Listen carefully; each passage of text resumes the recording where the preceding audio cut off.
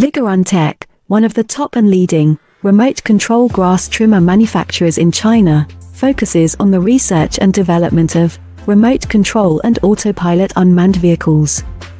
Remote control lawnmower is our current main product, widely used in lawn mowing and weed cutting, suitable for orchard, steep incline, front yard, wasteland, wildfire prevention, thick bush, and so on.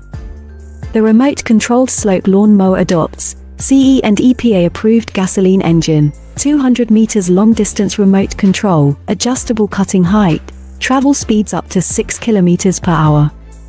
Based on the in-depth understanding of our own products, we can provide the best after-sales service.